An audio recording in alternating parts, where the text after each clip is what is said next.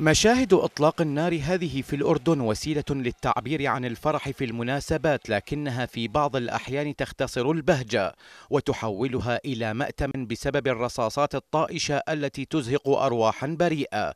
هذه الظاهرة أثارت جدلا وصلت أصداؤه إلى مراكز صنع القرار حيث أعرب العاهل الأردني عن استيائه من الظاهرة وأكد أن الجميع دون استثناء تحت طائلة القانون. ومن يوم طالع ما في واسطات. ابن فلان أو أو أو واحد اللي بفكر عنده منصب راح ناخذ الإجراءات. يعني لا سمح الله ابني بيطلع باحتفال وبيرمي بطلب من الأجهزة الأمنية يأخذوا نفس الإجراءات عليه. أنا شفت الفيديو قبل يومين على الزلمة اللي طخ الولد. حرام. مديرية الأمن العام بدأت بإجراءات وصفت بالحازمة لمواجهة مطلقي الأعيرة النارية ابتداء بالحبس للمخالفين ومنع جميع مظاهر التسلح في المجتمع الأردني وصولا إلى شن حملات اعتقال لحاملي السلاح من المدنيين. قال القبض وضبط كل شخص يتعامل بالسلاح سواء بالاتجار أو بالحيازة بشكل غير قانوني أو من خلال إطلاقها في المناسبات والأفراح. لغاية آه، هذا اليوم للأسف في عندنا وفاتين وحوالي 25 إصابة. وجهاء العشائر الأردنية من جانبهم أطلقوا مبادرة لا تقتلني بفرحتك والتي تضمنت توقيع وثيقة شرف تنص على عدم إطلاق العيارات النارية في الأعراس والمناسبات ومقاطعة المخالفين لبنود الوثيقة وعدم إجراء أي وساطة من شأنها عرقلة سير القضاء. كل هالشيوخ والناس هذه عندها قدرة أن توقف هالشيء هذا بالانفصال عن الشغلات هذه وحاربت الأشياء هذه. أي إطلاق عيارات نارية بعرس أو فرح يعتبر قاتل عمد ويطبق عليه قانون أنه قاتل عمد. ناشطون أردنيون على شبكة التواصل الاجتماعي فيسبوك أطلقوا حملة تحرم إطلاق النار في الأفراح. وجهت لفئة الشباب من أجل توعيتهم بمخاطر تنامي الظاهرة وانتشار السلاح وما سموه عدم المشاركة في إزهاق أرواح الأبرياء. وثيقة عشائرية جديدة وقوانين تهدف لوقف إطلاق الأعيرة النارية في الأعراس والمناسبات بعد أن ارتفعت أعداد الضحايا وتحولت الأفراح لأحزان. حيدر العبدلي الحرة عمان.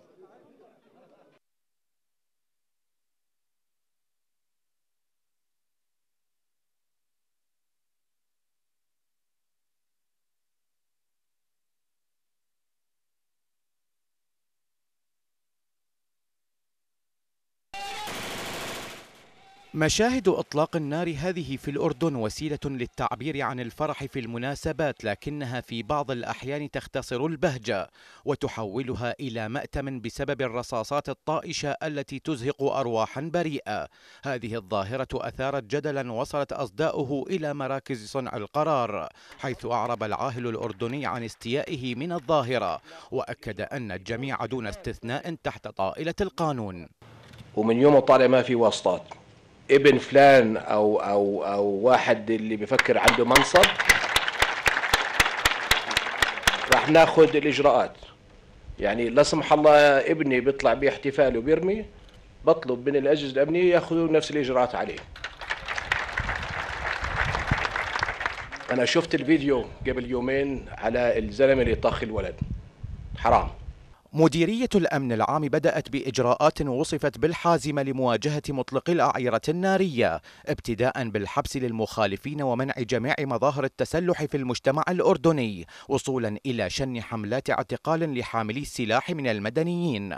قال القبض وضبط كل شخص يتعامل بالسلاح سواء بالاتجار أو بالحيازة بشكل غير قانوني أو من خلال إطلاقها في المناسبات والأفراح. لغاية آه، هذا اليوم للأسف في عندنا وفاتين وحوالي 25 إصابة. وجهاء العشائر الأردنية من جانبهم أطلقوا مبادرة لا تقتلني بفرحتك والتي تضمنت توقيع وثيقة شرف تنص على عدم إطلاق العيارات النارية في الأعراس والمناسبات ومقاطعة المخالفين لبنود الوثيقة وعدم إجراء أي وساطة من شأنها عرقلة سير القضاء. كل هالشيوخ والناس هذه عندها قدرة أن توقف هالشيء هذا بالانفصال عن الشغلات هذه وحاربت الأشياء هذه. أي إطلاق عيارات نارية بعرس أو فرح يعتبر قاتل عمد ويطبق عليه قانون أنه قاتل عمد. ناشطون أردنيون على شبكة التواصل الاجتماعي فيسبوك أطلقوا حملة تحرم إطلاق النار في الأفراح. وجهت لفئة الشباب من أجل توعيتهم بمخاطر تنامي الظاهرة وانتشار السلاح وما سموه عدم المشاركة في إزهاق أرواح الأبرياء.